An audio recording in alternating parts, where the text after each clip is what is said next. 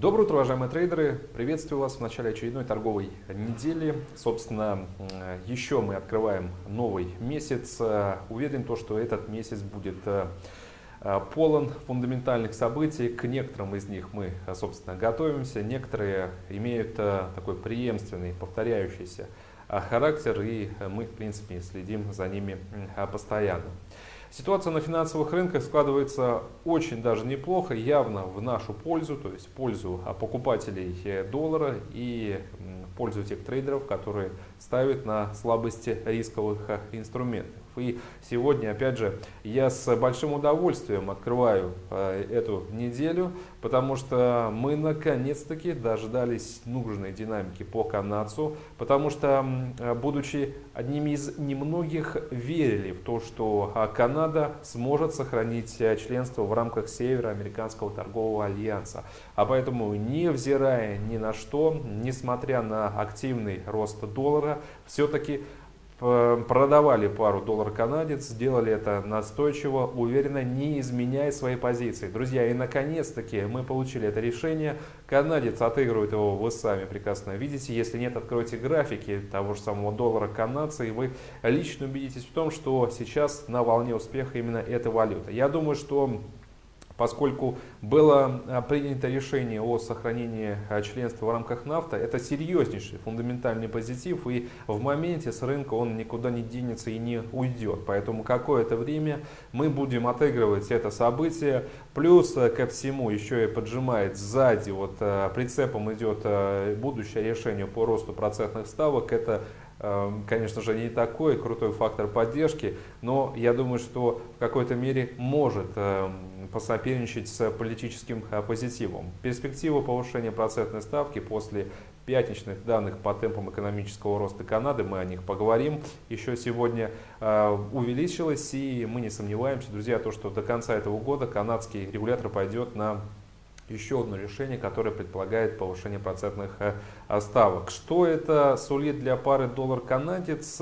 Конечно же, усиление или как минимум сохранение понижательной тенденции, предполагающей еще больший рост канадца. И что-то подсказывает мне, что отметка 1.25 это не то чтобы э, мега цель, это уже более-менее скромный ориентир, которого мы сейчас а, с вами придерживаемся. Этот ориентир а, как цель будет достигнута. И я думаю, что у меня будет еще возможность поздравить вас всех, друзья, с такой прекрасной, перспективной и очень выгодной сделкой. Надеюсь, то, что многие из вас в ней поучаствовали. Я думаю, что на этой неделе мы еще не раз вернемся к тому, что происходит с канадцем, потому что Э, учитывая э, текущее открытие с гэпом, учитывая то, что у нас эм, еще и не все европейцы отыграли это событие, потом у нас еще и открывается Америка, тоже приобщаться к этому позитиву, ралли будет э, продолжено. Поэтому, делая акцент на самые волатильные инструменты, нам придется с вами говорить о том, насколько интересно сейчас смотрится канадская Э, валюта.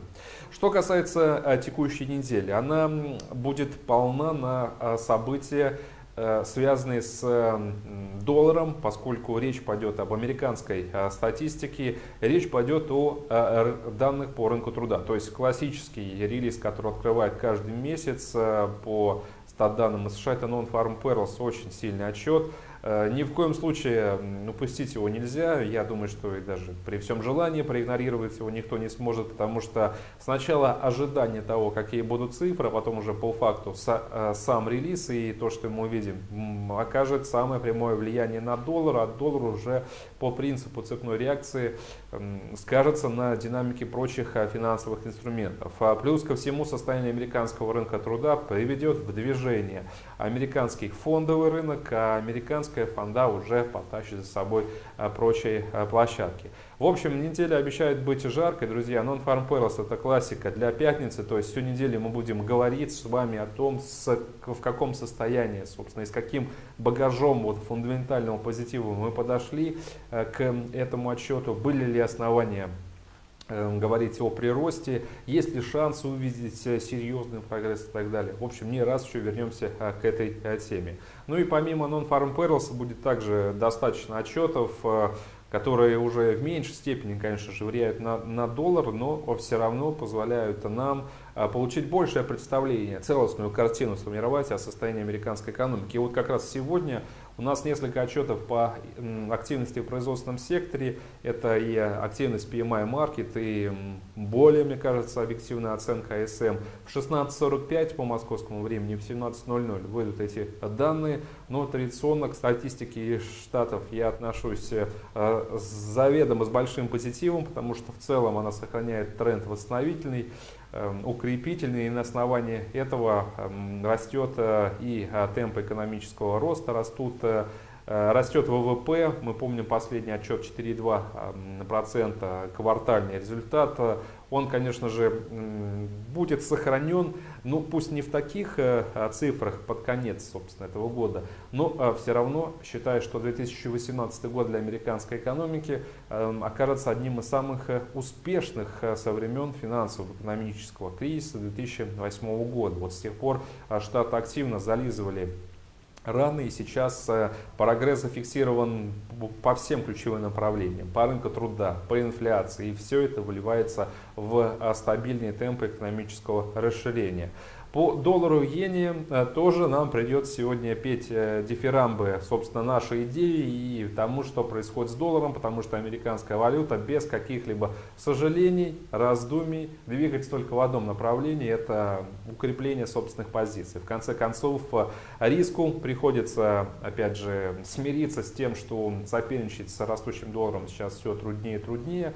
Э, риск отступает, ну вот, пожалуй, единственное исключение это а, канадец, но здесь очень интересная такая национальная фундаментальная подоплека, и вот э, в двух словах я, в принципе, уже сказал, когда мы начинали брифинг, с чем э, связана бода сейчас канадца. Давайте теперь чуть подробнее, но ну, а в целом крупными мазками, с вашего позволения, потому что у нас сегодня будет возможность обсудить все детально еще на вебинаре, который, как всегда, состоится в 16.30 по московскому времени. Я большим удовольствием вас всех туда приглашаю. Соответственно, поделюсь с вами своим видением рынка на больший, скажем, долгосрок. Расскажу вам о той картине, которая сложилась по самым популярным валютным инструментам. Также э, обсудим а, повестку всей текущей недели, обозначим недельные э, цели. Ну и традиционно я отвечу на те вопросы, которые у вас, э, может быть, есть. Ну, раз уж мы затронули тему вопросов, друзья, эм, чтобы, скажем, задать мне вопрос и эм, поинтересоваться тем, что вас интересует, то, что, возможно, я не освещаю на брифингах. Не обязательно ждать вебинары, вы можете абсолютно легко делать это путем, опять же, оставления этих вопросов в формате комментариев на нашем канале на YouTube. Мы э, регулярно выкладываем записи туда, прямо заходите в секцию брифингов, Э, соответственно, сегодняшний брифинг э, появится сразу же через несколько минут после того, как я закончу э, там. Оставляйте вопросы, я с большим удовольствием при необходимости дам комментарии, ну и поделюсь своим мнением относительно того вопроса, который вас может возникнуть. Давайте теперь пробежимся по инструментам. Начнем мы с нефтянки, которая устойчиво продолжает находиться и двигаться в рамках восстановительного восходящего бычьего тренда роста 83.38 это хай, который был зафиксирован на закрытии пятницы 83.18 сейчас. Учитывая то, что в пятницу у нас в прямом смысле не было значимых фундаментальных новостей, которые могли бы позволить нефти обновить многолетний максимум. И в пятницу, друзья, когда мы традиционно Э, работаем с логичной реакцией и подходом трейдеров к торговле через фиксацию перед выходными сделок, мы даже этого не увидели. То есть э, рынок остается крайне позитивно и оптимистично настроен в плане дальнейшего роста цен. Видимо, верит в, вот эти, в баснословные уровни и цели в 100, 120 долларов за баррель. Непонятно, конечно, с чем это может быть э, связано. Опять же, э, позиция, которая связана сейчас с э, медведями, которые присутствуют на рынке. Как вообще можно объяснить вот этот рост? Если вы зададитесь этой целью, я думаю, что во многих, опять же, статьях наткнетесь на комментарии о том, что такой существенный безновостной рост, скажем, больше даже основан на каком-то алгоритмическом уже подходе и скажем, импульсном движении, которое предполагает именно ориентацию котировок на определенное ценовое значение, где, возможно, собрано самое большое количество стоповых ордеров. И даже несмотря на то, что может быть фундаментальная картина по-прежнему остается исключительно медвежьей, есть вот всем известный рыночный замысел, это игры против большинства, друзья, и в данном случае возможно, этот замысел сейчас как раз и э, реализуется. В то же время я хочу отметить, что логичная реакция на рынке нефти, она все-таки должна эм, возобладать рано или поздно, ну, судя по всему, нам придется ее ждать. Я рекомендую вам, э, как и раньше, находиться в постоянном поиске самых хороших перспективных уровней для продажи. Поскольку котировки нефти вот настойчиво карабкаются вверх, я уже даже думаю, что нужно взять э, и начать использовать другую тактику, то есть продажа не через отложенные ордера, а sell limit, а через отложки, а sell stop. И вот для меня сейчас уровень 81.50. Я буду ждать, когда цены вернутся к этому значению, чтобы попробовать поймать э, потенциал еще большей э, коррекции. Основная идея, почему рынок растет, это старые дрожжи, скажем так, иранский вопрос. По-прежнему на рынке паника того, что сейчас Иран выпадет из эм, числа основных поставщиков и все, мировая экономика погрузится э, скажем, в состояние тотального дефицита, нефти на рынке не будет, э, взять ее будет неоткуда и так далее. Я считаю, что это бред.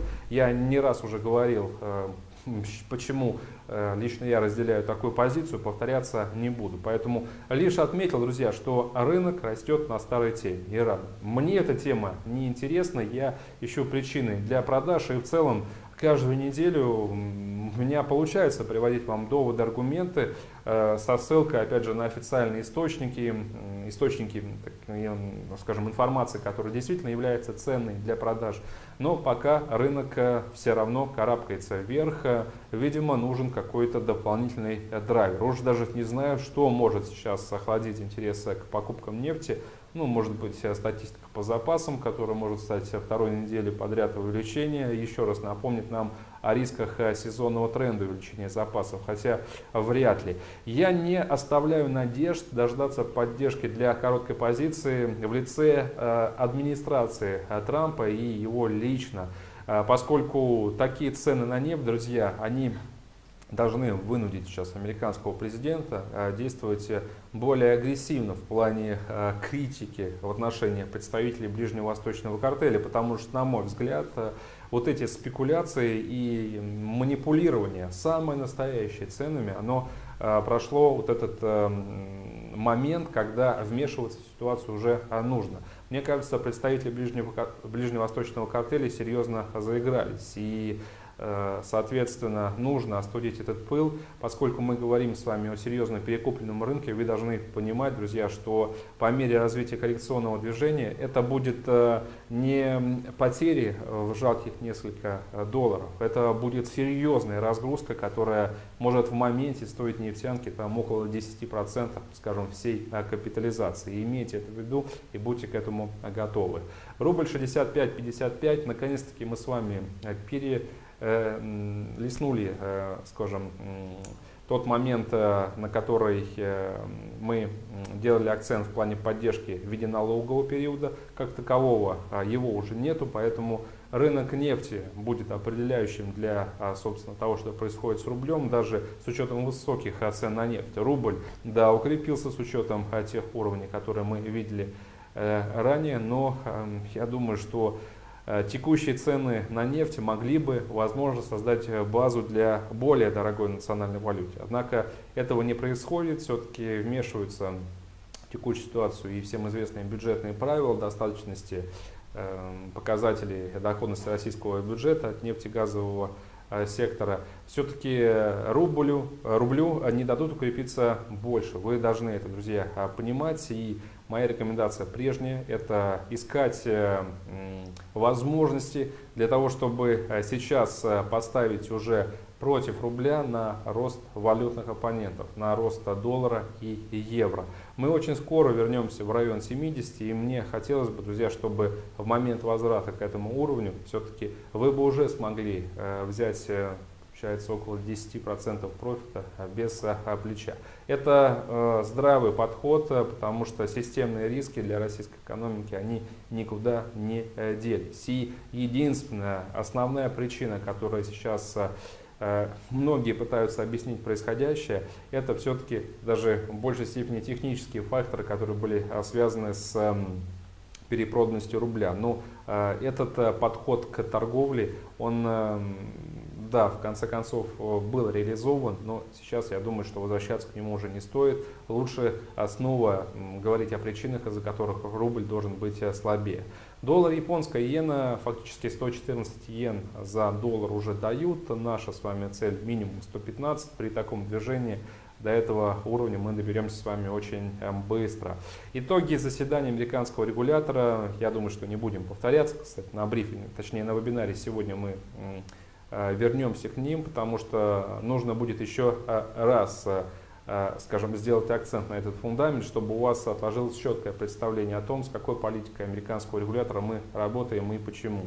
Но основной и главный итог э, прошедшего заседания Федрезерва, то, что не то чтобы ставку подняли, ее подняли действительно, но э, еще раз подтвердили нам, спекулянтам, что этот тренд дальнейшего повышения ставок будет выдерживаться и дальше. Мы с вами ждем декабрь, тоже как заседание, когда американский регулятор снова повысит э, ставку. Комментарии в отношении доллара исключительно оптимистичные, потому что представители Федрезерва э, акцентируют наше внимание постоянно на прогрессе, на рынке труда и, собственно, показатели инфляции. Мы должны э, использовать это, потому что на такой базе может проводиться, осуществляться только одна политика. Это политика более высоких процентных ставок. На этой неделе Non-Farm Payrolls, друзья, это отчет, который эм, будет повышать вероятность э, уже э, дополнительного роста ставок в декабре, дополнительную вероятность, скажем так. Потому что на текущий момент 80% э, того, что ставку поднимут в декабре, если non-farm payrolls в октябре, ноябре и в декабре, собственно, превзойдет ожидания экспертов, то мы уже к декабрьскому заседанию американского регулятора подойдем с вами как и к сентябрьскому, со стопроцентной уверенностью в том, что ставки будут да, повышаться.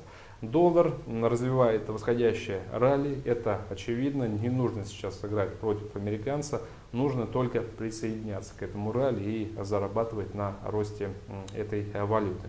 Евро против доллара, друзья, очень много мы говорили на прошлой неделе про Драги, его комментарии относительно перспектив роста инфляционного давления – Э, делали акцент на то, что сам Драги отметил эм, подавленное состояние базовой инфляции, ждали после этих комментариев пятничного отчета по инфляции, в итоге э, собственно, получили то, на что и настраивались. 0,9% это базовая инфляция в прошлом месяце с одного, то есть снижение. При э, наличии давления все-таки на показатель инфляции, тем более базовый, можно смело говорить, что Европейский центральный банк э, уже будет не э, настолько смел в подходе отказа от действующих экономических э, стимулов.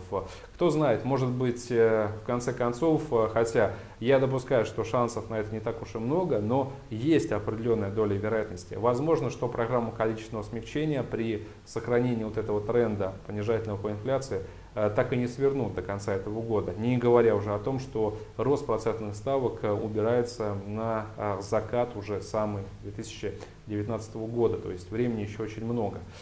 Контраст политик, как и всегда, очевиден, с учетом еще одной причины говорить о мягкой экономической политике в рамках еврозоны и с учетом повышения процентной ставки Федрезерва. Политические риски для еврозоны вновь актуальны. Буквально последнее распоряжение президента Италии э, в формате предложения министру экономики подать в отставку после не э, для многих понятного решения принятия проекта по дефициту бюджета Италии, скажем, выше норматива Европейского Союза.